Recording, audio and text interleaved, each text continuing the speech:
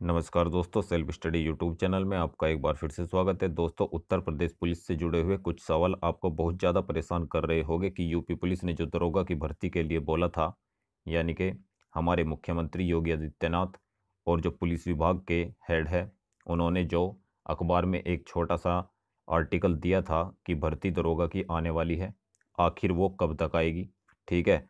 और फिर दूसरा सवाल आपका आता है कि फायरमैन जेल वार्डर की जो परीक्षा है वो आखिर कब तक होने वाली है? ठीक है? और फिर तीसरे नंबर का सवाल आपको एक और परेशान कर रहा होगा कि कांस्टेबल उनचास हज़ार पाँच सौ अड़सठ का जिन लोगों ने परीक्षा दी हुई है, उनका रिज़ल्ट आखिर कब तक आने वाला है? तो दोस्तों, इन्हीं सवालों का मैं आपको जवाब देने की कोशिश करूँगा। उम्मीद है कि आप मेरी बात से सहमत होंगे और अपनी तैयारी बरकरार रखेंगे। तो बिना देरी के चलिए सीधा इन सवालों का आपको उत्तर देने की कोशिश करता हूँ।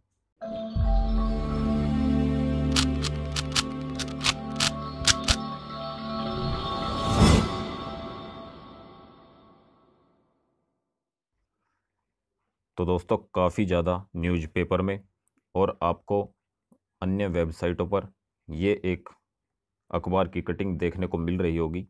ठीक है, जो पहले, काफ़ी पहले की पोस्ट की गई है कि लोकसभा चुनाव के बाद होगी पाँच हज़ार दरोगा की भर्ती। दोस्तों, ये बात तो सच है कि पाँच हज़ार की दरोगा की भर्ती नई आने वाली है, लेकिन आखिर कब तक? इन लोगों ने इसमें कहा था कि दिसंबर तक जारी हो जाएगा इस दरोगा भर्ती का परिणाम। दोस्तों, दिसंबर तक जारी करने के लिए इस भर्ती को इन्हें कब तक स्टार्ट करना होगा, इसकी जानकारी मैं आपको इसके अंदर पूरी से दूँगा। लेकिन उससे पहले मैं आपको बता दूँ कि यूपी पुलिस में जो अब की बार एज लिमिट रहने वाली है, वो 21 से 28 साल ही रहेगी। ठीक है?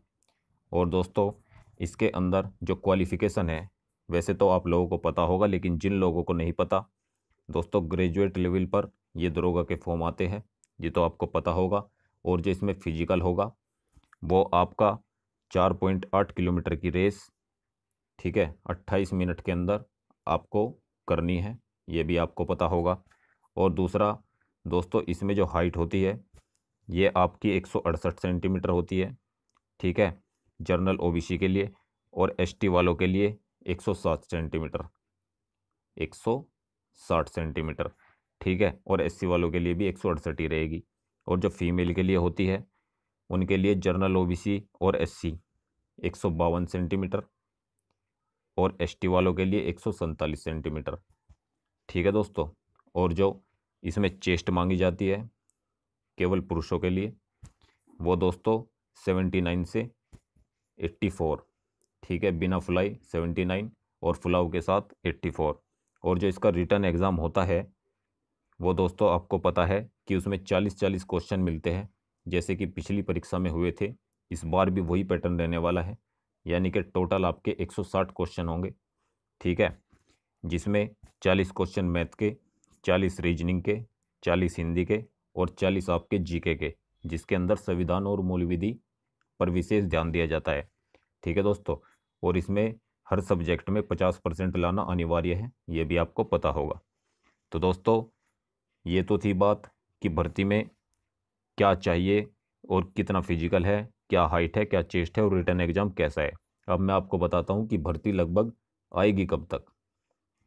जैसा कि इन्होंने इलेक्शन से पहले ये आर्टिकल दिया था कि दिसंबर तक हो जाएगा परिणाम जारी। तो दोस्तों, इस हिसाब से अगर आप देखें इलेक्शन तो हो चुके, लेकिन भर्ती के बारे में कोई अपडेट तो नहीं है। लेकिन जो इन्होंने ये बात कही है कि दिसंबर तक जारी हो जाएगा परिणाम, इसके लिए दोस्तों इन्हें अक्टूबर में आपका रिटर्न एग्ज़ाम लेना होगा। अगर ये अक्टूबर में आपका रिटर्न एग्ज़ाम लेंगे तो दोस्तों उस हिसाब से ही दिसंबर तक रिज़ल्ट फाइनल करेंगे। तो यानी कि आपका रिटर्न एग्ज़ाम अक्टूबर में होगा और अक्टूबर में अगर रिटर्न होगा तो फॉर्म कब से चलेंगे? लगभग आपके सितंबर या सितंबर से पहले आपके ये दरोगा के पाँच हज़ार पोस्ट के फॉर्म, ये लगभग है शायद पाँच हज़ार। ठीक है ना? ऐसा कुछ नहीं है कि कंप्लीट पाँच हज़ार आएगी, कम बत्तीस में हो सकते हैं। तो दोस्तों, सितंबर के आसपास, अक्टूबर सितंबर, अक्टूबर में आपका एग्ज़ाम। ये ऐसा भी हो सकता है कि सितंबर के फ़र्स्ट वीक या दोस्तों, आपका अगस्त के लास्ट तक। ठीक है? इसका नोटिफिकेशन आ जाएगा और फॉर्म भरने स्टार्ट हो जाएँगे। तो आपको ध्यान रखना है कि इन लोगों ने दिसंबर तक परिणाम जारी करने की बात की है तो अक्टूबर में, अक्टूबर या नवंबर फ़र्स्ट तक इन्हें एग्ज़ाम लेना होगा। ठीक है दोस्तों? तो ये तो थी दरोगा की बात। अब बात करते हैं हम कि कि आपका जो फायरमैन और जेल वार्डर की परीक्षा है, आखिर ये कब तक होगी? दोस्तों, आपको पता होगा, ये फॉर्म आपके जनवरी 2019 में आए थे। ठीक है? जो इसमें पहले बताया गया था कि चुनाव के एकदम बाद, यानी कि जून के फ़र्स्ट वीक में लगभग आपका एग्ज़ाम ले लिया जाएगा। लेकिन दोस्तों, ऐसा कुछ नहीं हुआ। ठीक है ना? तो ये जो आपकी पोस्ट थी, ये अट्ठावन की पोस्ट थी, जिसमें आपका सिलेबस था सैंतीस नंबर का मैथ, वही यूपी पुलिस कांस्टेबल वाला, अड़तीस नंबर की आपकी रीजनिंग, ठीक है? अड़तीस नंबर की आपकी जीएस और सैंतीस नंबर का आपका हिंदी, ठीक है? दोस्तों, एक सौ पचास क्वेश्चन थे इसमें कुल और आपका समय था दो घंटे और negative marking one by four की, ठीक है ना? ये आपको पता होगा। लेकिन दोस्तों, जो इसका परीक्षा होने वाली है, उसके बारे में इन्होंने पहले जो बात की थी, वो की थी कि जून के फ़र्स्ट वीक तक, यानी कि चुनाव के बाद एकदम ले लेंगे। एग्ज़ाम आपका तो यानी कि जून के फ़र्स्ट वीक तक इन्हें एग्ज़ाम ले लेना चाहिए था। लेकिन दोस्तों, अब जो हिसाब लगता है, उसके अनुसार इन्हें जुलाई के फ़र्स्ट वीक तक तो आपका एग्ज़ाम हर हाल में लेना ही होगा, ठीक है ना? क्योंकि इलेक्शन में ये काफ़ी ज़्यादा बिज़ी थे और अब फ्री होने के बाद जो इनकी पहली परीक्षा जो इनके द्वारा यानी कि भर्ती बोर्ड के द्वारा जो पहले नंबर का काम किया जाएगा, वो फायरमैन और जेल वार्डर की परीक्षा का ही देखा जाएगा।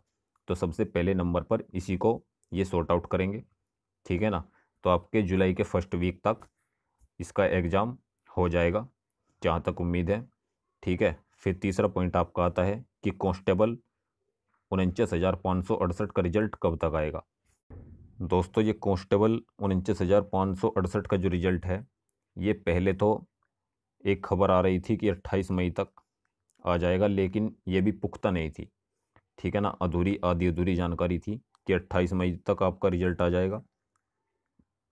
ठीक है, कुछ लोग बोल रहे थे काफ़ी ज़्यादा साइट पर इधर उधर से 28 मई की बात निकल कर आ रही थी, लेकिन ऐसा सच नहीं था।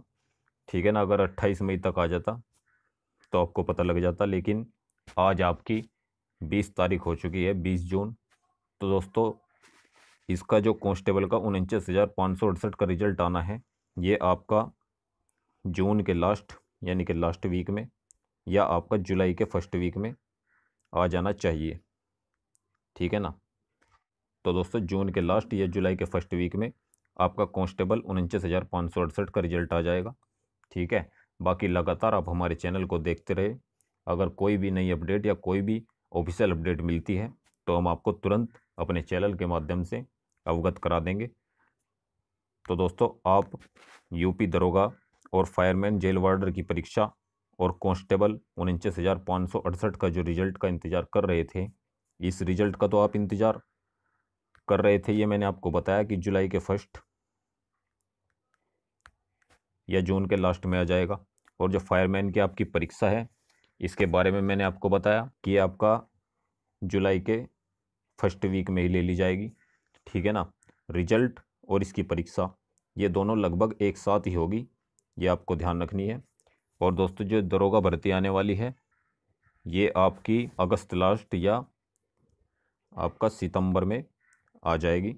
आप अपनी तैयारी बरकरार रखें, जिससे आपको कोई परेशानी बाद में ना देखनी पड़े। दोस्तों, अगर आपको मेरे द्वारा बताई गई ये जानकारी अच्छी लगी तो हमारे चैनल को सब्सक्राइब कर लें।